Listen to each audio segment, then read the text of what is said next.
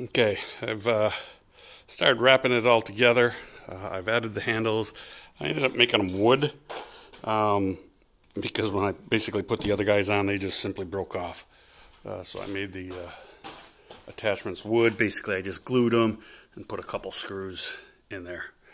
Um, and then I've taken a hula hoop just to give it a nice rim edge.